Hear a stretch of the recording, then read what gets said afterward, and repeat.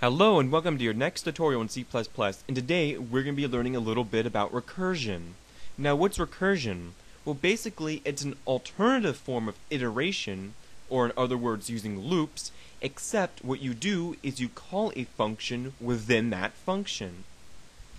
And there's um, places in which you would use recursion and there's other times you, that you might use iteration at the end of this tutorial, I'll tell you when I personally think it's better to use recursion as opposed to iteration. So, um, basically, uh, basically, you can pretty much do anything you can with iteration as you can with recursion, and it's just another way of doing it. So, for example, let's actually look at a way of printing numbers. So let's say we want to uh, type in, let's say like 6 or whatever, or 5, or just some number, and it'll either count up to that number or it'll count down from that number. So let's, uh, let's actually just look at this first. So the first thing we're going to do is create a num. We'll have uh, prompt the user to type in an integer. And man, it's hot in here. I forgot summer, so it's almost summer. It's June 16th. Uh, but uh, it's almost summer. When is it? June 20th or 21st?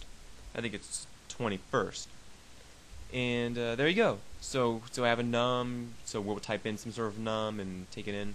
So let's create our recursive function now that will print it all for us.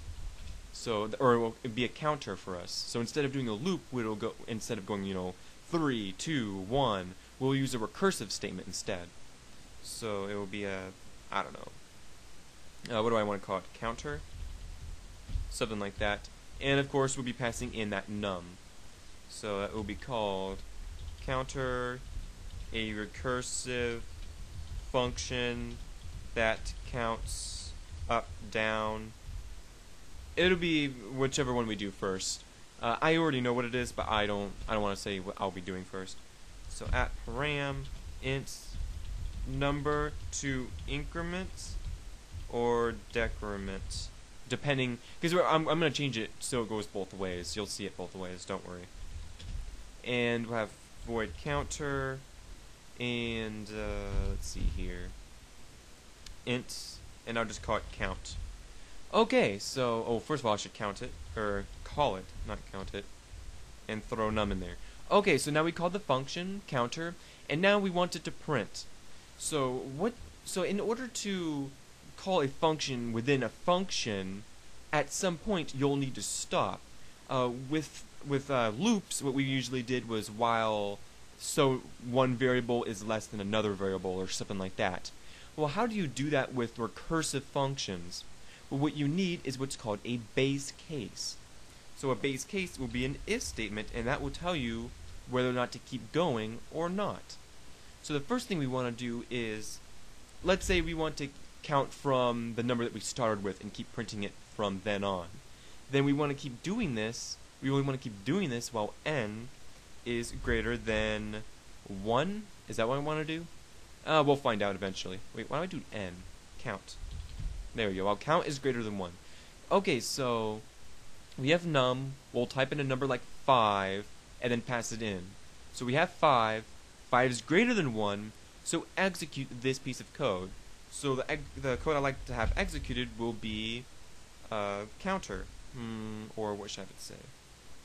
Um, number, I don't know, something like that, and then we'll actually print count, something like that. Then afterwards, so now it will print the number that we passed in, which would be five or whatever. Then after this, what you would probably want to do is to actually call the function again. So in order to do this, we'll type out counter, and then this time we'll type in count again. However, what do you think will happen with this? This will actually cause your application to crash on two levels. One level is, first of all, this will be an infinite loop because we'll keep going in there the same number again and again and again because it's not decrementing. It'll always be greater than 1, assuming we typed in something greater than 1. Another reason why it will crash is because when you use recursive statements, uh, you you keep passing uh, numbers by value, which thus creates what's called a stack. You might have heard of stacks before. That's something that we're not going to really get into until the level 2 playlist for C++ when I do that, when we, when we learn about stacks a bit more. But every time you go into this function, you're, you're continuously creating a new variable. And until you exit, every time you go in here, we've never exited, exited any of the preceding functions where we keep going in, but we're not actually finishing any of them. So now we're creating all of these variables by value, creating this stack, and eventually your computer memory won't be able to hold it all, and well, there's nothing you can do after that. So that's another way your application would crash in such a case. So it's very dangerous. So what you're going to want to do is actually subtract by 1. So we decrement. Don't use the minus minus, and there's reasons why you won't want to do that, and I'll show you uh, later on not to use the you know the minus minus. Uh, okay, so uh, let's run this and let's see if this works. So I'll type in like a 7 and okay so it was uh, greater than or equal to so actually let me fix that really quickly greater than or equal to. See I can't even remember what I did. So I'll type in 7 and there it is.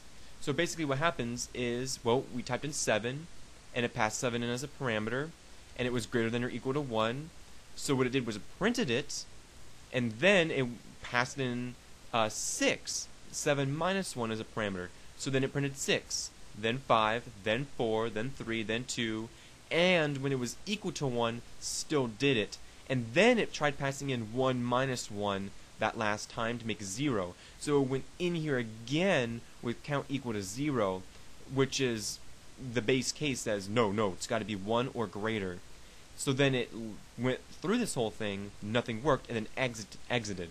Then exited the previous one when it was 1 then it exited when it was 2, 3, 4, 5, 6, 7. So it finished off the rest. So bear in mind that if you had more code down here, that code, this code would not be executed till you've already printed number 1 here. And it would get printed every single time that you actually got through this function. So there's there there are it's not exactly like a loop if you want to think about it that way. It's it's not exactly like iteration other stuff can still occur. So bear that in mind. So with 7, 6, 5, 4, 3, 2, 1. Now what happens if we actually reverse this? What if we do all the recursion before we actually did the printing? Let's see what the difference would be. So if I did this, click save, and then I ran this, and if I typed in, let's uh, type in 7 still, uh, and there you go. This time it went in the reverse order. This time it went 1, 2, 3, 4, 5, 6, 7. So it went through everything, but this time in the reverse order because, well, it's not until the number got to 1 that it actually did any printing. So kind of like what I said before, if there's code after all the recursion go going on, it's not until that very last recursive statement holds true, the last time the base case still works, that uh, you will finally move on and finish the rest of the code. And this is the rest of the code right here. So as you can see, it went seven. It went seven, six, five, four, three, two, one and then once it hit zero, it didn't work. So it left after that zero, and then went back to when it was one and finished the rest of the code. So it exited exited when this was zero, and then finished the rest, and then finished the rest when it was two, then three, then four, then five, all the way up to seven. So it went backwards. So, uh, and yeah, that's pretty much it. Uh, the last one I can show you is, is, is an example of when it actually returns a value every time instead of it being a void function. And probably the most common example you will find is uh, our uh, a factorial problem. So I'll show you how to do that. Even though it's kind of pointless, there's probably a billion tutorials on how to do that. I don't know. I'm just I'm sure there is. That's the most common. But in the my level two playlist, I will be going deeper into recur recursive statements when we learn about sorting. When we learn about because um, sorting and uh, probably not searching, but sorting, we will learn how to sort arrays, for an example, using recursive statements. So it's going to get a lot more advanced than this. But this is just level 1. This is an introductory course in C++, so I'm not going to burden you with learning any kind of like difficult stuff yet. So I'm just going to show you an example of returning a value, and that's just going to be it for now. And we'll do more in the level 2 playlist when I make it, which will be this fall most likely. So, uh, so now we're going to be doing a factorial, so this would be an int instead. Then this would be an int. So thinking about a factorial problem, uh, uh, we're going to be creating a stack. This is where stacks are more useful because you're going to need to save every value that you have every time you go inside the program.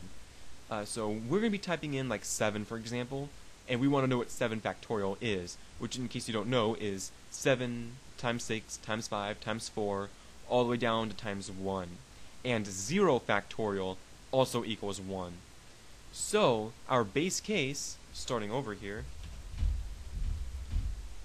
will be, uh, we'll only execute the code and actually, uh, if, and then what we're going to be typing out will be, uh, what I call count. Count is less than or equal to 1.